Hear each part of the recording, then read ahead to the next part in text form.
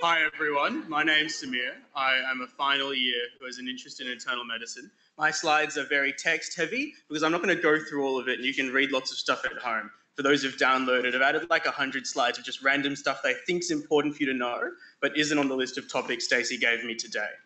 Um, you'll get lots of advice today about how to do well at the end of the year. My advice is that the PEDS exam is the most stupid exam you'll ever do.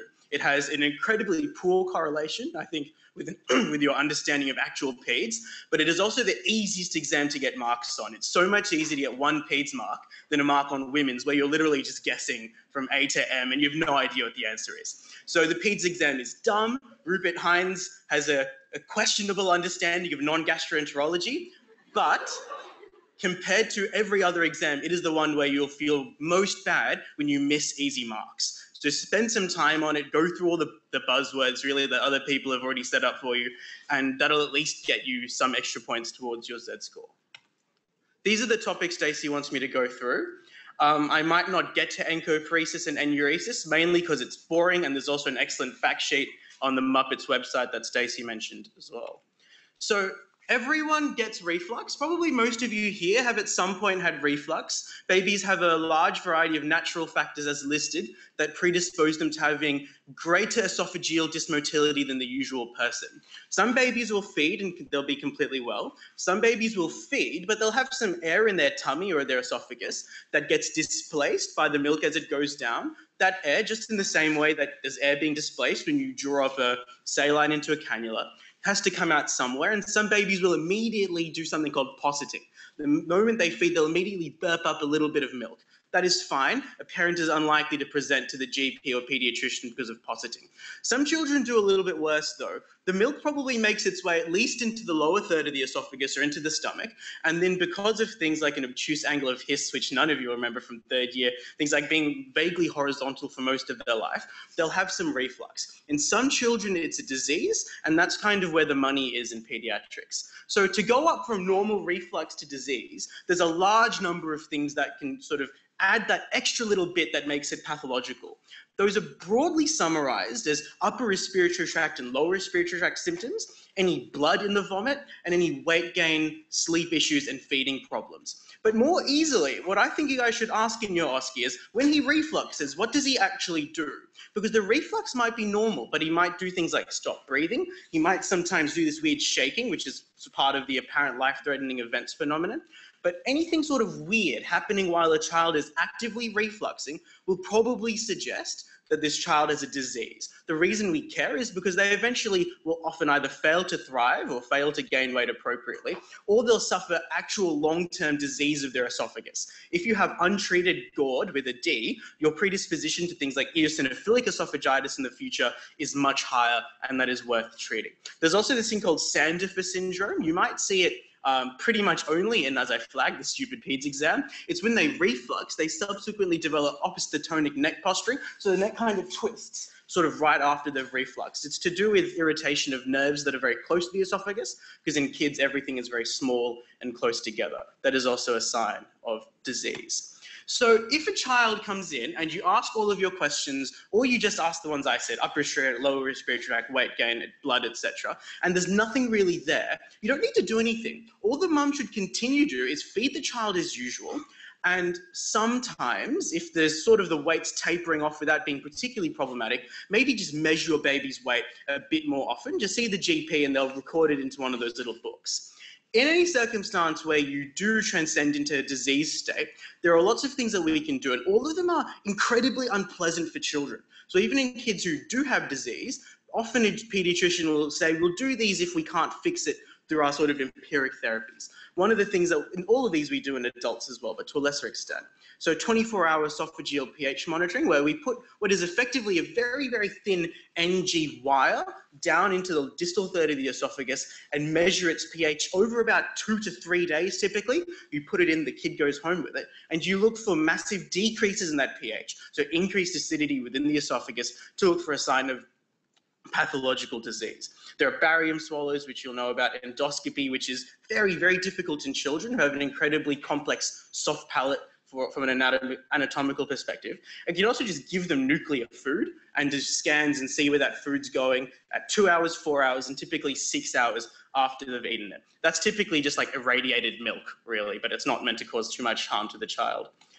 So if it is just normal reflux, you don't really have to change what the child's eating. If they're currently breastfed, you don't need to transfer them to A2 milk or whatever the sponsor of this thing is. But typically they'll be okay. And the numbers are here. It's worth knowing the numbers. You know, in a year and a half, most children will be fine. And even at three months, the vast majority of children will have grown out of it.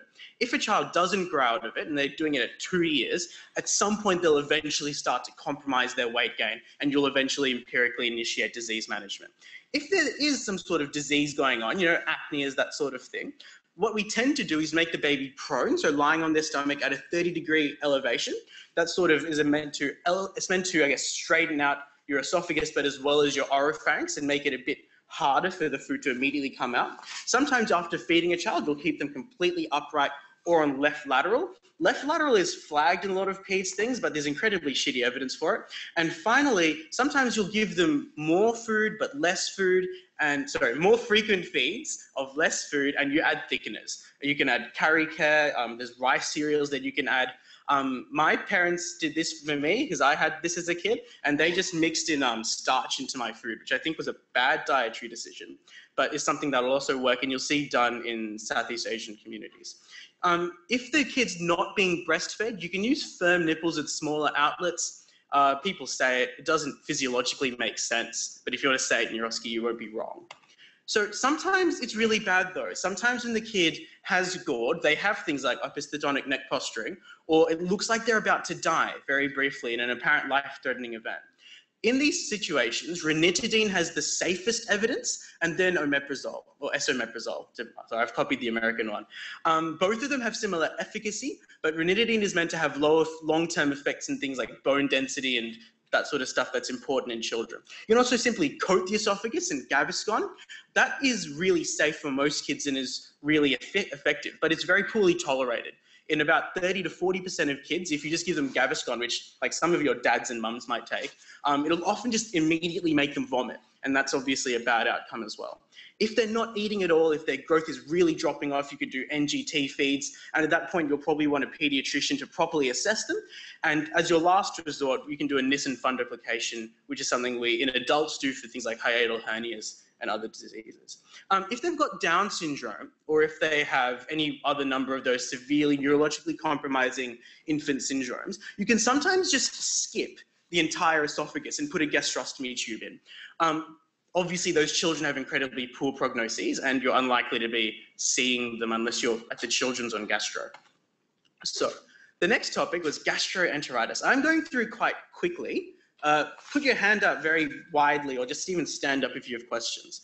So a lot of gastroenteritis in children is very similar to adults. Your most causative agents are slightly different, so it's norovirus and campylobacter, and typically they'll present in a similar way. They'll have diarrhea even if they're not eating food, so indicative of a secretory diarrhea as opposed to one that's osmotic. They'll often have abdominal pain and they'll have dehydration.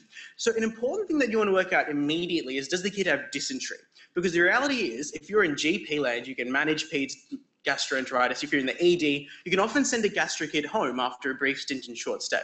But the moment they have dysentery, so blood in the stool, they need a gastro review. They might even need the surgeons, depending how that bowel's going.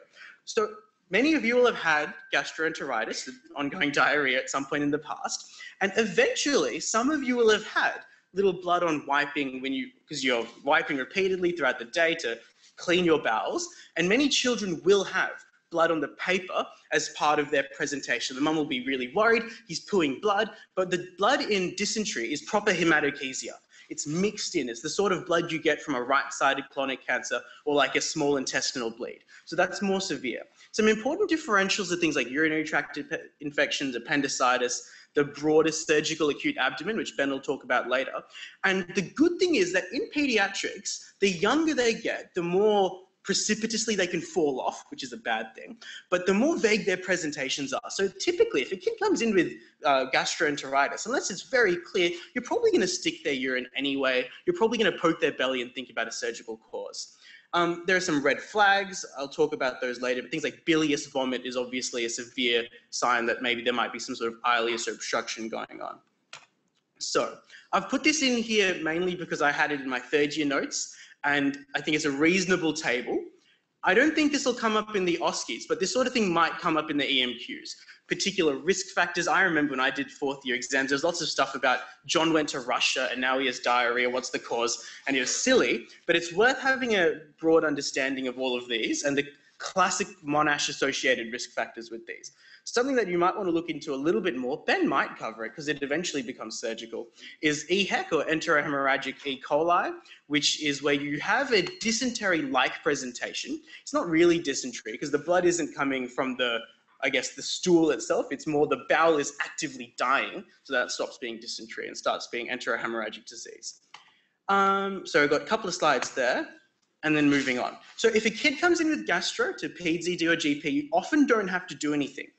If they're very dehydrated to the point they're cold, clammy, they're shut down, you'll often initiate sepsis protocols. It's really important in your OSCEs to have an incredibly low threshold for being this child might be septic. There's an OSCE that they no longer run from about 2014 where there was a kid who was kind of ill and the only positive finding was an like a Uh, I guess an injected tympanic membrane. Some of you may have seen this OSCE that is an injected tympanic membrane to a lot of people, to about 70% of people, suggested that the child had otitis media. The child was septic and the tympanic membrane was inflamed because when you're septic, everything gets shit. It's important to have a very low threshold. Even if you think the kid does have gastro, but they might be septic from it, you go for your life with all the investigations. In some kids who aren't that sick, you will do a fecal sample. So significant pain, very unwell if they have dysentery, you'll want a bit of the poo. Um, it's well noted that the poo must actually be unformed for any path lab pretty much in Victoria to actually test it. If the child is unwell with gastro and is recovering and is having formed stools, most path labs will simply reject it unless you call them otherwise. Sometimes you'll want to assess things like their hemodynamic status and their electrolytes. So a classic Monash thing and a real thing is, I guess, doughy skin. So not necessarily a lack of skin turgor, but the skin is sort of thick and pliable, and it's significant. It's uh, indicative of a very severe hyponatremia, which can happen. So anything about doughy skin and an OSCE, it's probably panic, get lots of help. Some parents uh, haven't grasped the concept of ORS, which is very reasonable. That was a main thing to say. But some of them will just give their child a huge amount of water. Some of them will give their children huge amounts of like soft drinks, like lemonade, which is great for the kid in the short term, but they'll it'll often throw off their electrolytes. So even if a kid is relatively well, if mom's like, yeah, I've been giving him like liters and liters of water, you'll still want to do a urine electrolyte and creatinine to make sure the mum hasn't just caused a tiny bit of kidney failure. If they have an ileostomy, so they're post-surgical, the losses you can have from an ileostomy tend to be super duper massive. So these kids are at massive risk of dehydration. If they're immunocompromised or have otherwise lost huge amounts, you'll also probably do some tests for the same reason. So the big management of gastroenteritis is rehydration. Uh, ben wanted to take that. He messaged me. He's like, I want to teach rehydration, so fine. Um, what you'll tend to do though is you'll often analgese. Does anyone know the pediatric Panadol dose? Anyone? Okay, so there are probably three doses you should go home after this gastro talk and look up. One is the pediatric antiemetic dose. So metoclopramide is relatively safe in most kids and ondansetron, although ondansetron causes constipation, which we like to avoid. Uh, Panadol is probably another one, and ibuprofen when if you've done PEDS ED, you'll see them. They give out ibuprofen and Panadol like like candy in kids because they're safe at the appropriate doses. You should probably look them up to know what they are. So you can give ondansetron. It does cause constipation, so they need to be relatively big to tolerate that constipative effect. Um, rehydration, Benel cover. There are antibiotics that you can give if it's dysentery, my tables include this particular antibiotics that you'd like to use, but you often won't need to know which ones. And typically, a mix of uh, norfloxacin or ciprofloxacin and metronidazole will probably cover all of your dysenteric antibiotics. Um, something I took from my GP notes is that if the kid gets gastro often and they're traveling to India or somewhere where you often get gastro, there are traveler's kits you can have and read about later. And after you get gastro, because you have significant damage to your villi which is where your lactase lives, often children can be sort of temporarily lactose intolerant. that's unlikely to be a presentation in an OSCE, but it's something that if you have a gastro OSCE, you can warn the parents about. If your child isn't tolerating milk, like you know, breast milk or cereal milk or whatever, as well as they usually do, don't be too panicked. Wait at least two to three days before you really worry and start to bring them into hospital, unless, of course, they're not eating anything at all, in which case normal pediatric concerns apply. So there's another separate thing that is different to a lactose intolerance, which is when you have an intolerance to cow's milk protein. I looked up the name of the protein and it's a very long scientific name, so I don't remember, but it's an important differential for gastro, but it's important differential also for pediatric pellagra. Does anyone know what pellagra is? About three quarters of you will have done GP. Anyone? Yeah, so pellagra is a vitamin deficiency. Does that help? B3. So niacin deficiency in adults is pellagra, dermatitis, diarrhea, and then a sort of an acute psychiatric disturbance, dementia. Some kids will have pellagra. If they're from poor countries, if they are refugees and other groups that are associated with higher risk of malnutrition, there'll be kids who come in with the vitamin deficiencies you've studied in pediatrics. This is not one of those. It's much easier to treat. You just give them a particular amino acid in their milk and they do fine. And often they get better anyway. So does anyone know what the picture on the left is? I can give you the clinical context of a kid who often has loose bowels and is not putting on weight. It's a very, it's from like DermNet. It's like a classic picture. Any ideas? I will add on some clinical information. Um, there's a family history of autoimmune thyroid disease and diabetes type 1. Picture on, picture on the left. Yes, that side. Anyone? Yes, dermatitis herpetiformis. Excellent. So this is a classical but not that common finding in children with untreated celiac disease. On the right, I've got another picture that happens if you have untreated celiac disease for a longer time. If really, if your parents are really not on the ball about the fact that every time you have bread, you shit yourself. Any ideas? Okay, so celiac disease is a disease that is uncomfortable to have. I have friends with celiac, and they're like, it sucks. And, I'm like, sure, I don't care. But more importantly, celiac disease is associated with a wide range of medical comorbidities that get progressively worse the more long, the longer it isn't treated. This isn't a worry in a 40-year-old lady who develops celiac disease, which is another one of your spike risk factor groups. In children, though, for every like well, effectively for every day of untreated celiac most of the evidence suggests that even if you eventually treat the celiac Things like having, uh, there's a specific T cell lymphoma, long term autoimmune disease, osteoporosis, still have a higher risk ratio of occurring. That last one I flagged was bilateral occipital calcifications, which are sort of caused by a celiac induced folate deficiency that causes AVMs at the back of the brain that cause a lot of seizures. So even if you eventually treat them, if you haven't sort of let them go for a couple of years, they're at a higher lifetime risk of a lot of the associated complications. But celiac disease is an autoimmune small intestinal enteritis. It's triggered by gliadin, which is in wheat, rye, and barley. It's not technically in oats, although oats has some sort of particular protein that there's a decent amount of cross-reactivity, so we avoid oats. You'll probably need to know it's associated with HLA DQ2 and 8, but also with Downs, it's also um, Downs, Williams, and Turner's. And these children fail to thrive, they lose weight, it is uncomfortable to have steatorrhea, diarrhea, and bloating, and in longer term cases, they start getting ulcers in their mouth, uh, buttocks wasting, and dermatitis herpetiformis. This picture has probably both. It's very difficult to get a nice sort of top view approach of someone's butt on DermNet, but that's probably a butt that hasn't got the, the perkiness that a butt of a child should have.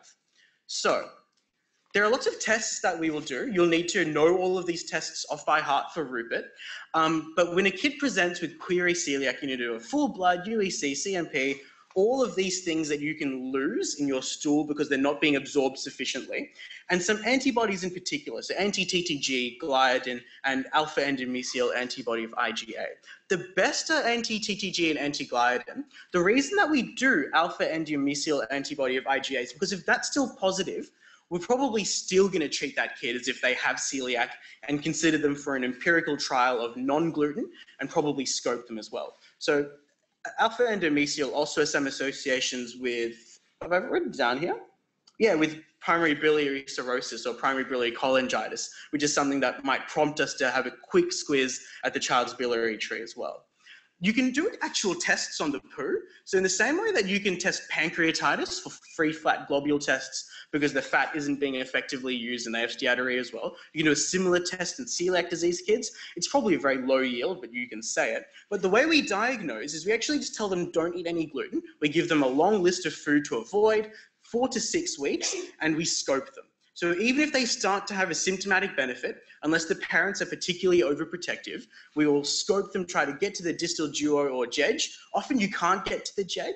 If any of you have done third year scopes, it's very difficult to get to like the middle of the small intestine. So often we'll just get duodenal biopsies, which are still very sensitive and specific. And the macroscopic and histological findings are very similar to what you would have learnt last year in your extensive pathology teaching. So the management of celiac then is pretty simple. So you just tell them to stop eating gluten. You want to refer them to a gastroenterologist, mainly because the gastroenterologist is able to do sort of, there are oral treatments, there are oral eh, like immunomodulators that you can do, and it's probably worth having a gastro follow-up just to be monitoring all of things like B12, folate, and vitamin D effectively. That's a bit much to expect a GP to do in like a 15 minute visit. Um, so you want to monitor things like their antibody levels, their iron and folate. And also there's some evidence that every year they should get a thyroid panel with antibodies and a diabetes screen. So typically just a HbA1c.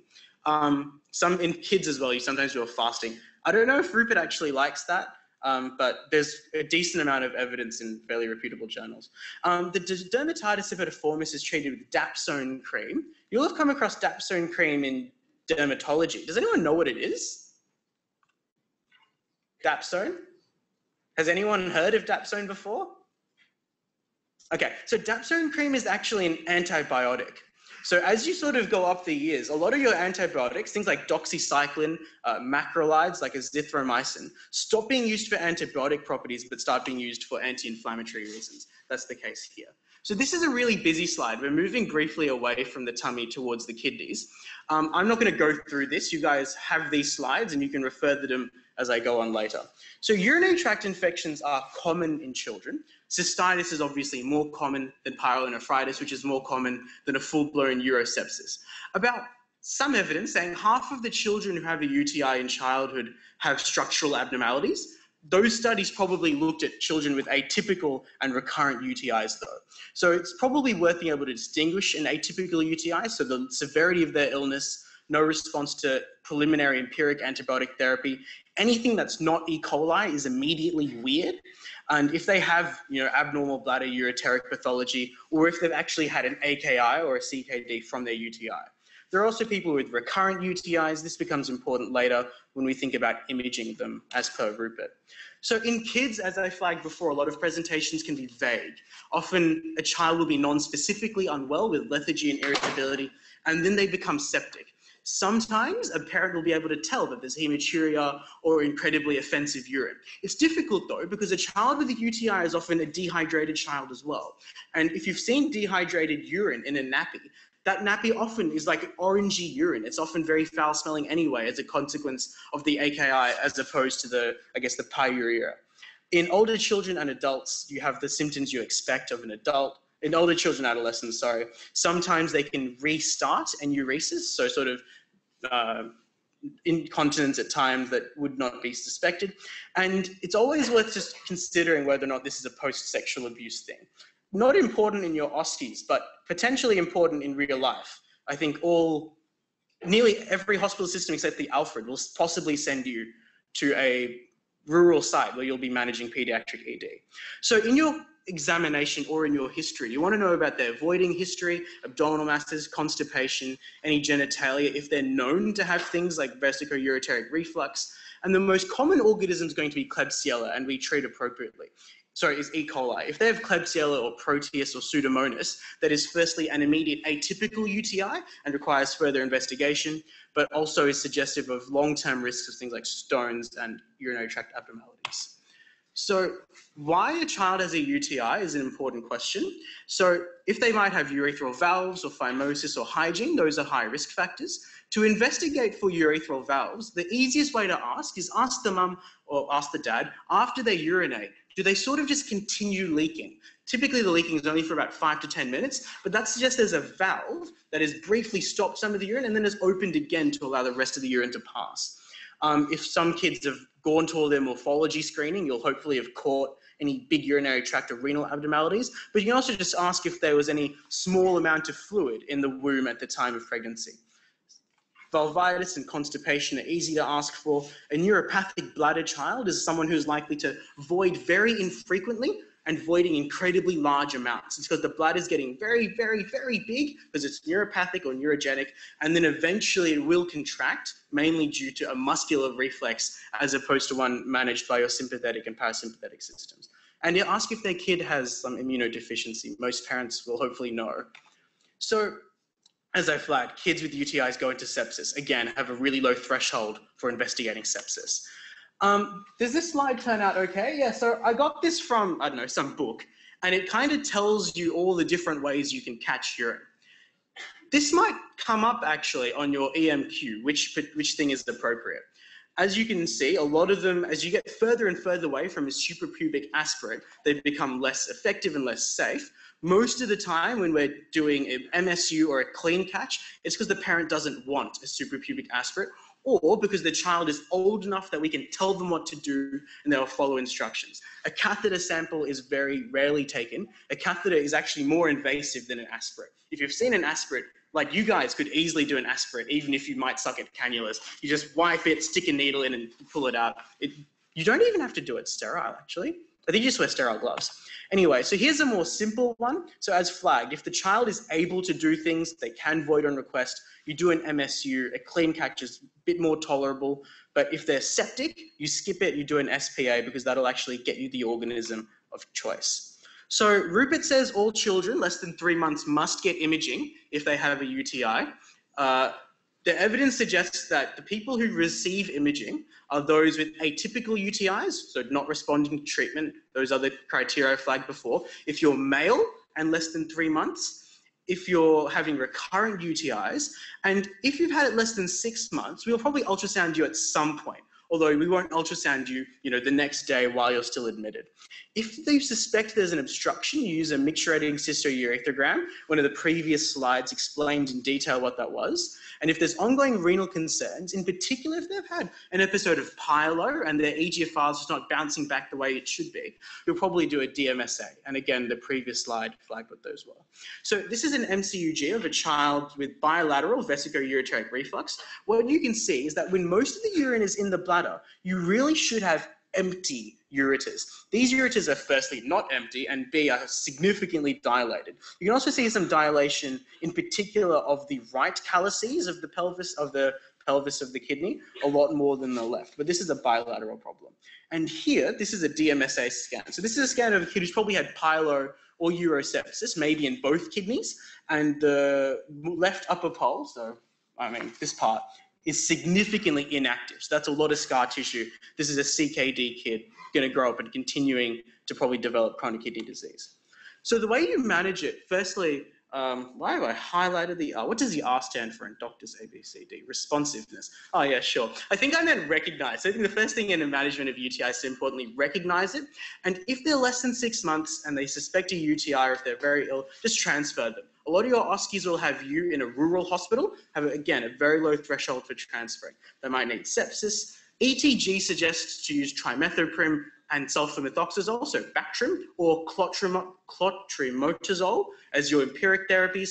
The rest become more broad spectrum, and that increases your rates of C. diff and PEDS, which is really hard to treat they don't respond well to things like oral metronidazole and often require vancomycin instead, which has its own side effects. If the pathogen is Pseudomonas, that kid needs to be fully investigated, but use norfloxacin.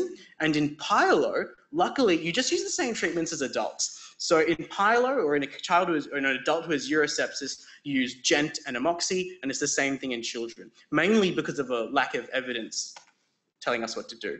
So after a child has had a UTI, given that maybe they've got something wrong with them. from a ureteric or bladder pathology, they're likely going to get it again. So it's important to give them lots of fluid, make sure that they're regularly voiding. Some parents have to tell their children to do this. If you've gone to the bathroom, go again to the bathroom to make sure you're really emptying out that bladder. And in particular for female infants, it's important to manage their hygiene. If they have a dirty nappy, you change it as soon as you can. You don't wait around. If they've got constipation as a cause, you'll, need, you'll probably need a pediatric review, but things like high fluid intake, stool softeners are often safe. And there's shitty evidence really for probiotics, circumcision, and antibiotic prophylaxis in most patients. Um, I don't know, Rupert has said different things in different shoots about these, but in some children who have severe VUR, it is reasonable to do things like ongoing Bactrim, although noting that it's probably going to cause long-term local resistance. So Vesicoureteric reflux is a sort of a surgical problem, but Ben got me to do it. Um, so it's a developmental anomaly of the vesicoureteric junctions. So what normally happens is your bladder is a large ball, it is very muscular, and your ureters enter at an angle. That means the ureters spend a lot of time going in between that bladder wall. That means that when they contract, there's actually quite a lot of muscle on either side of that ureter to really close it off, to make sure there's no urine going up when the urine's meant to be going down.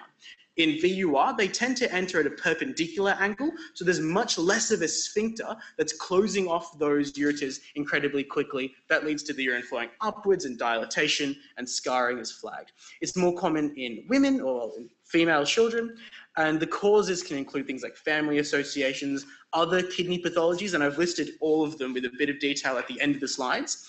And it can also happen if you've got things like neuropathic bladders and things like posterior urethral valves tend to be additionally associated with VUR. So the severity varies quite a lot. I've got a picture of mild, where there's not much sort of dilatation of the pelvic calyces, and I've got one that's severe, and that's a kidney that's obviously going to be very unhealthy. So if it's really mild, typically there's not much that's there. There's a bit of an increased risk of pyelonephritis, even from mild reflux, but often they'll kind of get better. As they, as they grow, their bladder tends to actually grow disproportionate size-wise to the, di to the diameter of your ureters. So you end up getting just enough muscle that it's not really a problem in adulthood. But in children with severe VUR, the big trouble is you're going to knock off a lot of their kidney function before they've even had an opportunity to like get diabetes and smoke and drink and that sort of stuff. So they can present, as I flagged, as recurrent UTI, pyelo presentations, and your differentials tend to be image dependent. You're not really going to work out if there's a urethral prolapse on physical exam, you're going to have to image them with an MCUG. So your key investigations are flagged. There's nothing really surprising here. The, if they've got VUR, you do need to actually look at their urine by MSU or a suprapubic aspirate. But as flagged, most get better. Most don't need antibiotic prophylaxis, but some do, and all of them will need that sort of behavioral and lifestyle management that I discussed earlier. So here's a question for all of you guys. A kid comes in, they're puffy. Their eyelids are puffy, their scrotum is puffy, a very classic place for a kid to get puffy, and their legs are puffy. What are some reasons why a child might be puffy? This is a super like OSCE-able station. Heart failure is great. Next, anyone else? Nephrotic syndrome is great, and it's the answer because you guys have the slides. Anything else? Sorry? Uh, yeah, sure. Not a common cause, but a worthwhile cause. Doesn't tend to cause like Anastarkis disease. Tends to cause a bit more lower limb specifically, but very reasonable. Yeah. Yeah, sure. Good. Yeah, liver failures. All your failures cause it. Yeah, that's most of them. So obesity, you know, some kids are just puffy because they're fat. Um, heart failure, where a lot of your adult signs are also visible. Noting that in a child with heart failure, they're nearly always going to, have they flag with reflux, they have very horizontal lifestyles. So you're not looking at the legs, you're really looking at, you're palpating the spine and feeling puffiness over the spine. Liver failure, anaphylaxis, nephrotic and nephritic syndrome also causes edema.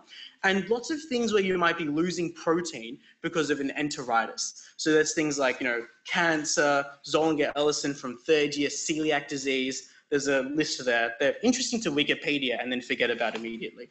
So nephrotic syndrome in kids tends to be just minimal change disease. It's about 85% compared to about 40% in adults. So the foot processes, not food processes, um, have become effaced, which means they stop being an effective barrier to the loss of protein. all protein, not just albumin, even though that's one we're key measuring. Tends to happen in children less than four. If someone's seven or eight and starts having nephrotic syndrome, you will need to probably investigate for one of those more nefarious causes. Um, they're mostly also responsive to steroids. Things like focal, ooh, focal scleral, mm, Focal segmental glomerulosclerosis is not responsive to steroids, and you might need to biopsy a kid who's got nephrotic syndrome that isn't responding. And there are also non idiopathic causes. So, someone mentioned HSP earlier, but things like SLE, again, it sucked to have that as a kid, are important. So, the presentation of nephrotic syndrome is hypovolemia and AKI in most cases. They'll come in puffy and they'll come in not making urine and they'll come in incredibly sick or on the way to incredibly sick. They can also present, though, as a consequence of their protein loss. So they lose proteins that are important to the clotting cascade. I have seen one kid with nephrotic syndrome. He presented with a stroke. This is at neuro at the children's here, which is a really sucky and unlucky way to present. They can also present with recurrent and severe infections because they lose IgG. Often they might have some of those hypercholesterolemic signs that you see in adult patients. They can present as hyperthyroidism vitamin D deficient, they can present as just sort of tired and pale and useless because of an iron deficiency anemia, or just not growing. So the clinical signs that are earliest is periorbital edema on waking. After you get periorbital, you get scrotal, vulval, leg, ankle ascites, and then pleural effusions in that order. If a child is very upright, sometimes it changes and leg happens a bit faster, but typically your scrotum and vulva, because there's nowhere for that fluid to go from down, because there's no anatomy directly below, means they tend to get sick very fast. The symptoms of intravascular depletion you've probably thought about before, but things like cramping, dizziness, peripherally being shut down and tachycardic, and they can present, as I flagged, frankly, with cellulitis or with thrombosis. So the tests that you do, so in the ED, any of you can do a urine dipstick. The same considerations apply in terms of getting a clean urine. But in this sort of case, you don't really care so much about a potential organism unless you suspect a UTI. So often we're not doing suprapubic aspirates. Full bloods and ESR, because the ESR is an indicator of sort of kidney death. Uh, UEC, LFTs, their lipids. And you really need to look for the cause. Even though the vast majority of kids are going to be, you know, one off minimal change or maybe a two or three off minimal change, you do need to run all of these tests, and the Royal Children's recommends them even if they don't do them all the time, looking for potential causes of other nephrotic syndromes. So malaria, varicella, hepatitis B. If they just had a strep throat, be very worried you're looking at a nephritic syndrome as opposed to a nephrotic one, things like complement and an ANA. In the urine, there are additional biochemical tests that you'll perform. They're listed there. Um, we don't tend to biopsy these children, even if they've got fairly severe nephrotic disease, because of the damage nephrotic syndrome does to your clotting cascade factors. So while nephrotic syndrome makes you more likely to clot, and therefore, I guess, more safe to actually biopsy. You don't want to biopsy someone who's going to bleed to death. Um, typically, with a pediatric renal biopsy, there's a, quite a lot of blood that will naturally go into the renal capsule. And if that clots off versus being resorbed, it causes long term chronic kidney disease. So we tend to not do a biopsy either. So there are indications and instructions for what you do if you admit. They go under Oprah, like, you know, you've got nephrotic syndrome. So do you. All of you have nephrotic syndrome. So you admit, sorry, you admit you get some help because you don't know what you're doing because you're an intern. Um, if they have edema, the way you treat that is you don't have to salt restrict, really. Like it's kind of hard to remove salt from normal food, but you don't add it. You make sure you're measuring their fluid balance, urine dipsticks, Pred and phenoxymethylpenicillin. Pred will fix the problem. Phenoxy will stop them from getting cellulitis and dying. Ranitidine. Does anyone know why we give the ranitidine? Because of the pred, excellent. So prednisolone causes the gastritis. You don't want to have to have six days into admission a child who's clinically getting better, but then starts having abdominal pain, because then you're worried about things like spontaneous bacterial peritonitis, and you want to eliminate that from differential. We tend to give aspirin, but not heparin, often because its safety profile in kids isn't that well evidenced. And we'll tell the family that it often get better, it might come back, just let us know, that sort of thing. And if it's refractory, we start doing things like frusemide, IV albumin, um, ACE inhibitors and NSAIDs sometimes help, and in worst cases, IVIG or plasma exchange. If your kid's getting any of those last couple, they're unlikely to respond and probably don't have nephrotic syndrome. So I'm, I was meant to finish at 9.45. Is Stacey still here or is she just hanging around outside?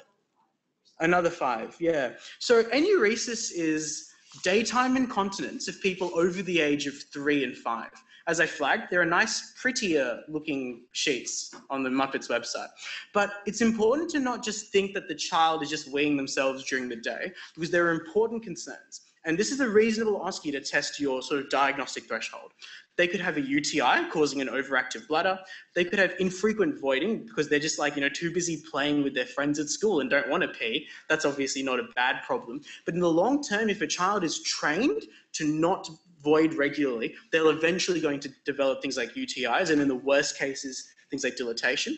They could be constipated. They might have an ectopic bladder, which is often very difficult to find on examination because it's ectopic, but it still tends to be subcutaneous. Um, they could have too much caffeine or chocolate. Some of your artificial coloring agents cause uh, increased urine frequency. They could be psychogenic. They could have diabetes. So your same things. You know, they drink a lot of water. They're peeing a lot, or they're very fatigued.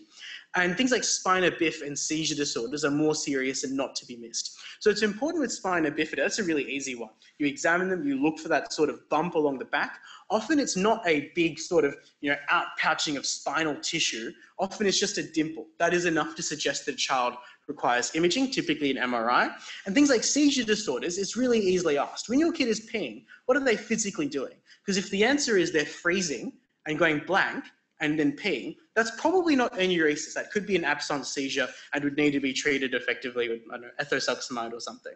So those are all worthwhile differentials. So in your OSCE, this is where some of the money is, and the rest of the money is sort of the management. So most kids get better. It's important to assure them that their child is not going to be some 20 year old peeing their pants.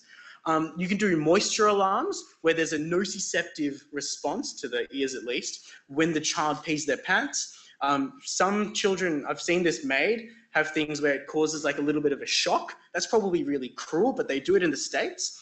You can regulate their fluid intake to make sure they're not drinking at odd times in the day, bladder training, start charts, the sort of just stuff you do to make kids happy. Pelvic floor exercises if they're over the age of seven, because if it's they're under, they're probably not doing them well. And their medications.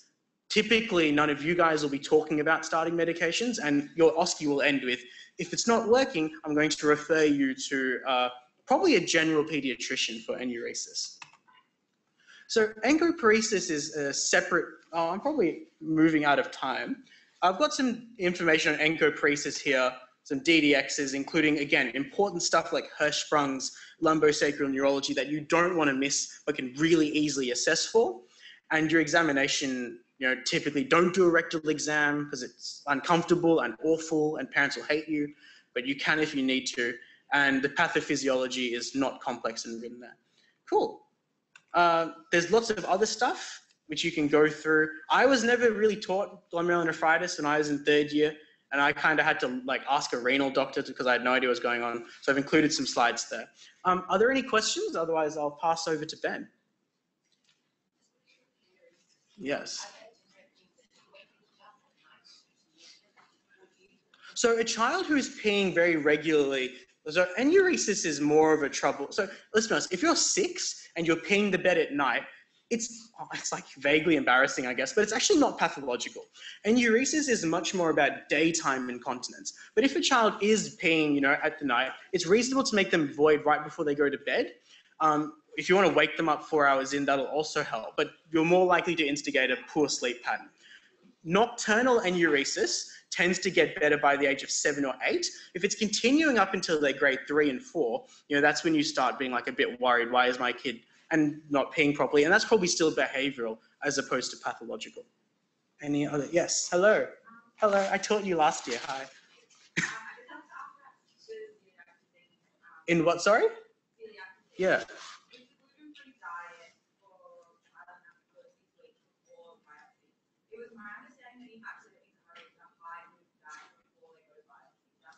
Yeah, so the high gluten diet will get you a nice result, but the problem with that is it's incredibly uncomfortable for the kid. So in again in the state in the UK, they definitely don't encourage a high gluten diet because that increases your risk of all those other things and also predisposes you to some of those complications we've flagged before. The reality is, even in someone who's got really well controlled celiac disease, they will have, like I have friends who have no symptoms for like five, six years, They still get scopes, they still have those macroscopic and histological findings. The other reason why you'll do a gluten-free disease, gluten-free diet, is many parents will at the end of that stage opt out of the scope because they, want, they don't want to expose their child to an invasive procedure with an anesthetic load, which is reasonable, I guess. And if they respond well to gluten-free diet, then you've at least stopped the problem and can empirically treat as celiac. You don't have to biopsy. It's nice, but you can do all of the things, folate monitoring, iron monitoring, without actually having a biopsy. So gluten-free diet is often a way of empirically testing that, and many parents won't want to scope at the end of that anyway. Cool. Any other questions? All right. Thanks, everyone. The slides are up. There won't be a post-lecture slide because I haven't changed anything. And I'll hand over to Ben. Thank you.